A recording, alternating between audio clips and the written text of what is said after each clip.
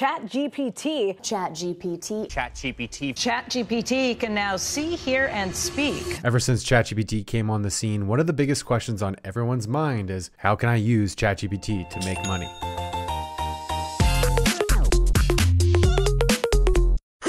Hey, what's going on? Welcome back to my channel. My name's Ross Fledderjohn. I'm a former developer turned content creator where I share all my tips, tricks, and resources on how you can scale your agency and business. It's no secret that AI has completely taken over pretty much every single industry and is definitely not slowing down. But while the speed of AI and adoption of AI is increasing, the realistic capabilities of what this stuff can actually do starting to become more and more clear as people actually use and implement this stuff into their existing business. And there's basically two camps of how AI actually works and how people like you and me can actually use it to make money in different ways. There's conversational AI and generational AI or content generation AI. Content generation AI are simply platforms that will generate content based off of a condition or a prompt. Other similar platforms could be Jasper AI, Copy AI, basically any platform that's going to take in a text prompt and then return a generated piece of content. And with the latest models that we're seeing now, that could also include imagery, audio,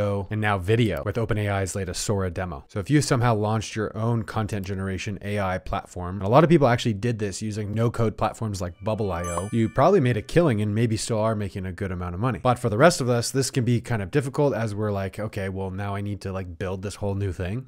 and that's where the other side, conversational AI, comes into play. And this is going to be truly the bread and butter of where the money lies in AI, especially if you're a freelancer, run an agency, or want to start an agency, or if you just just want to augment your own responsibilities so that way you can enhance your workflow. Like I said earlier, AI is not slowing down. Every single company in the entire world is going to use AI in some way, shape, or form within the next five to 10 years. And every single one of those companies is going to need someone to help them build and implement this AI into their company. And this is where the big opportunity lies helping businesses adopt AI so that way they can reap the benefits while you take a small percentage and cut of their savings. A really good example example of this is Klarna. They just released a, very interesting article yesterday on February 27, 2024, about how they recently implemented their AI assistant and how it now handles two thirds of their customer service chats. And some of the stats here are insane. Check this out. The AI assistant was installed for one month. It had 2.3 million conversations, doing the equivalent work of 700 full time agents. It was on par with human agents in regard to customer satisfaction. This has always been one of those biggest things that companies have pushed back on but AI is continuously getting better and better and better every single day. So it was only a matter of time before it was able to meet or beat that expectation of a human customer service agent. It had more accurate resolutions, leading to a 25% drop in repeat inquiries. Customers had their issues resolved in less than two minutes compared to the 11 minutes previously. The AI is available in 23 markets 24 7 and can communicate in more than 35 languages. It's estimated to drive $40 million in profit for Klarna in 2024.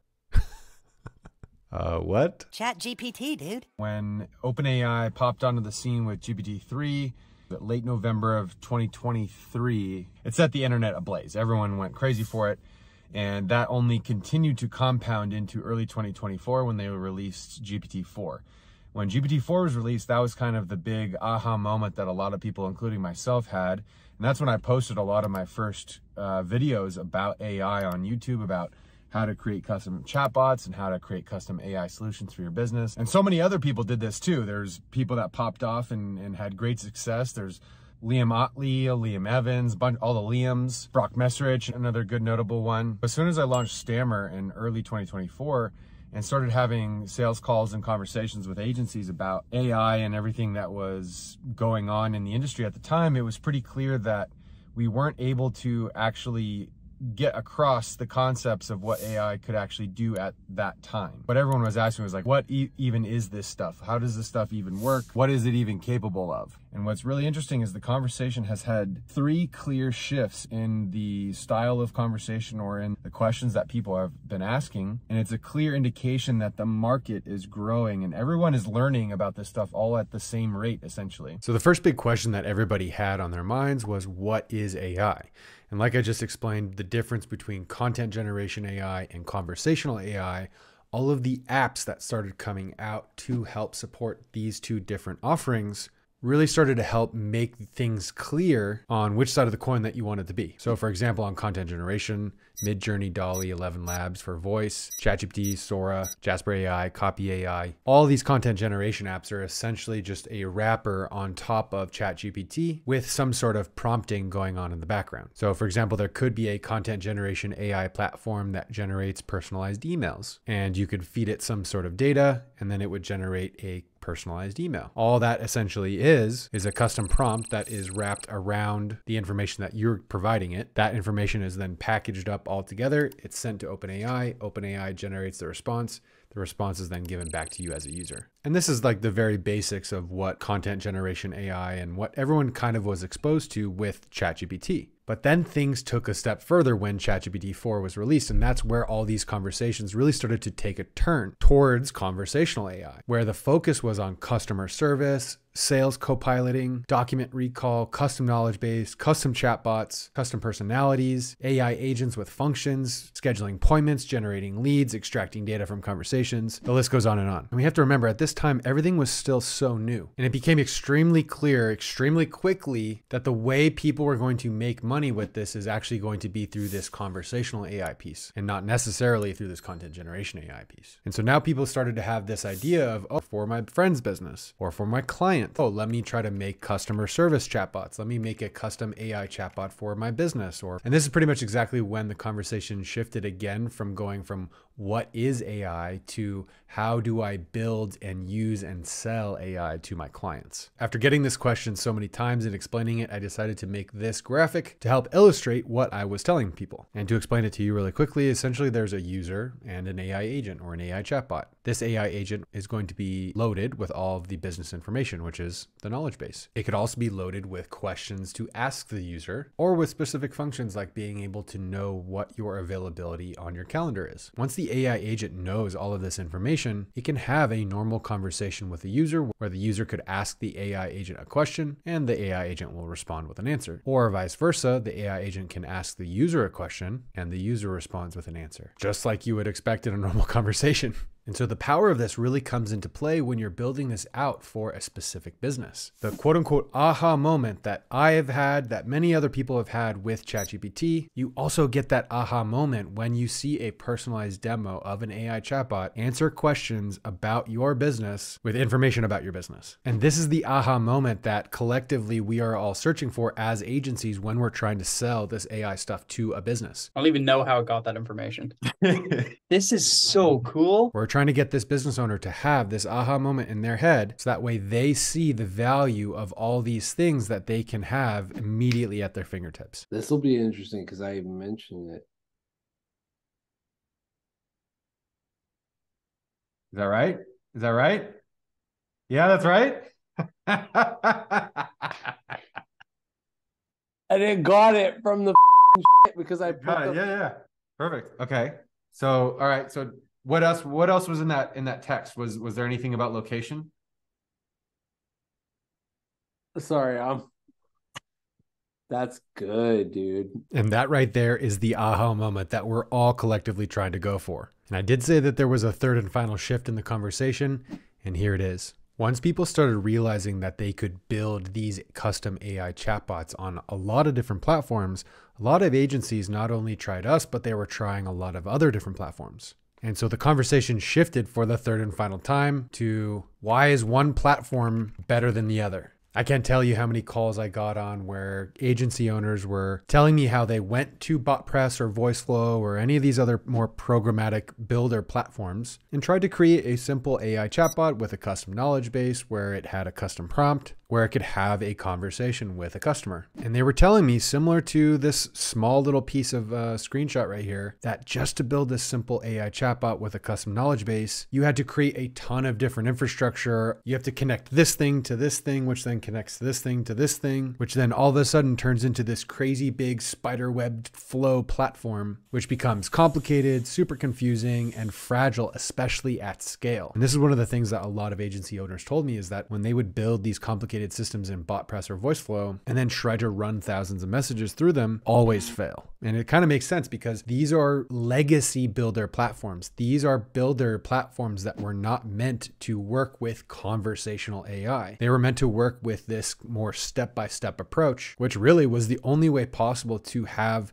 this type of conversational quote unquote AI up until OpenAI came onto the scene. And when OpenAI came onto the scene, BotPress, VoiceFlow, and all these other platforms tried to catch up and add AI into their system. But unfortunately, their systems were not built for conversational AI from the ground up. So each little module within their builder is an AI piece, which leads to the same exact problems that you have at scale. Everything becomes complicated, confusing, and fragile. Not to mention that they don't really have any sort of white labeling features. They're billing on the typical, you know, we bill per user seat. They don't have any sort of rebilling options, so you don't necessarily make money from every message or response from the AI. There's no Stripe integration, so there's not a real way to easily sell uh, any of this to a client. And so basically all of these problems are what Stammer AI is solving for. We built a fully white label platform that you can create custom AI chatbots with a knowledge base from the ground up. So you can see I can log into my white labeled version of the platform and everything is changed to my brand. I can easily create custom AI chatbots about any business. I can upload custom information via copy and paste. I can upload documents and PDFs. I can scrape a website. I could add custom question and answers. I can customize the appearance to whatever I want it to be. And I can embed and share and sell this AI chatbot to basically anybody as much as I want and make as much money as I possibly can. And the cool thing is, so can you.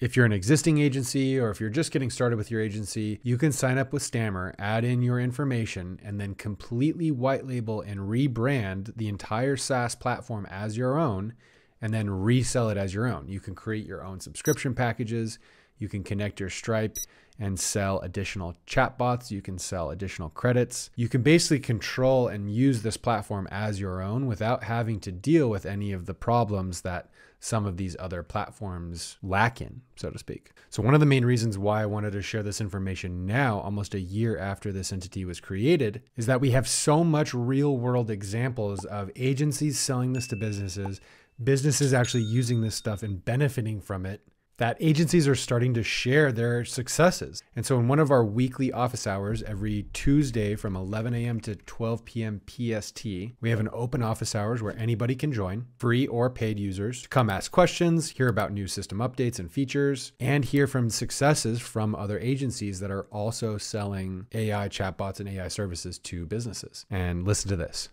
I was at an, uh, an on site meeting with another client today who we run five websites for and I did a demo of the bot in the meeting again with the MD of the business.